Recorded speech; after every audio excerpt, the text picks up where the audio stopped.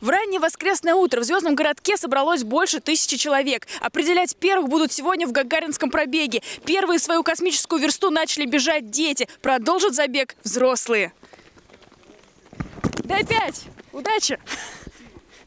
47-е всероссийские соревнования в этом году посвящены 55-летию полета в космос Юрия Гагарина. Чуть больше километра преодолевают участники первого забега, представители общеобразовательных школ Московской области и, конечно, нашего района. Многие из них участвуют в первый раз и не имеют особой подготовки, но некоторые признаются, результаты могут послужить толчком для тренировок к последующим соревнованиям.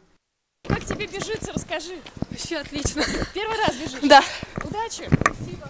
Дыхалка умерла. Целый буду тренироваться к следующим бегам. Конечно, устала, но приятное ощущение, что люди сделали такие, такой пробег, чтобы люди больше занимались спортом.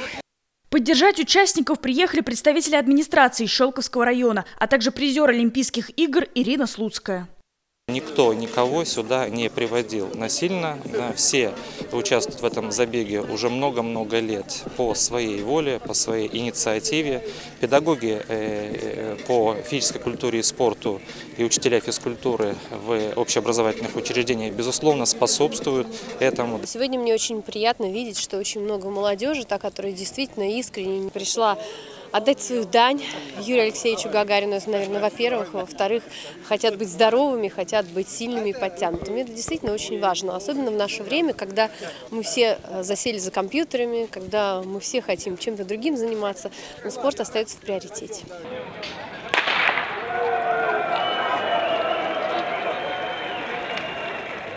Во втором забеге приняли участие и любители, и спортсмены-легкоатлеты со всей страны, а также ближайшего зарубежья. Дистанции на выносливость 5, 10 и 20 километров преодолевали взрослые и молодые спортсмены. Последние оказались также в числе победителей. Так, в пятикилометровом забеге победил 16-летний Иван Фокша и 13-летняя Анна Белова. 10 километров лучше всех пробежали Дмитрий Писарев и Ирина Хренова, а 20 километров Виталий Логинов и Надежда Гоголева. Многим из них бежалось легко, может быть потому, что для для большинства этот забег не для победы, а ради собственных рекордов, встречи с единомышленниками и хорошим времяпрепровождением в выходной день.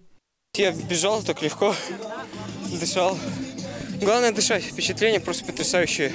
В советское время Гагаринский пробег был стартовой и отборочной площадкой для профессиональных спортсменов. Его престиж был неоспорим. Тогда, помимо полумарафона 20 километров, в соревнованиях включалась и спортивная ходьба. В самом первом забеге приняло участие только 250 человек, но со временем его статус приумножался и достиг международного масштаба. Сегодняшние спортсмены теперь переводят дыхание и делятся эмоциями, ведь впереди новые победы.